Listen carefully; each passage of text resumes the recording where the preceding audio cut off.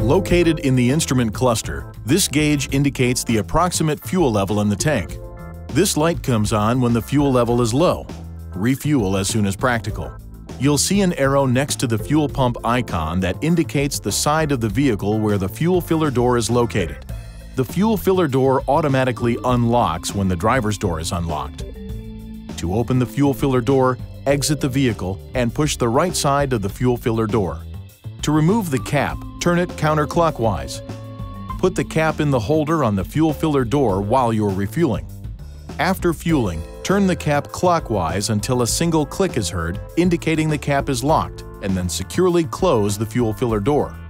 This message appears in the vehicle information display when the fuel cap is not attached properly. If this occurs, exit the vehicle and reinsert the fuel filler cap straight into the fuel filler tube. Turn the fuel filler cap clockwise and tighten until a single click is heard. Now, press the reset button for more than one second to turn the indicator off.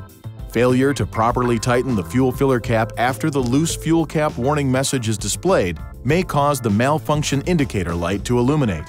If you have taken the appropriate steps and the indicator light does not turn off, please see your Infiniti retailer for further assistance.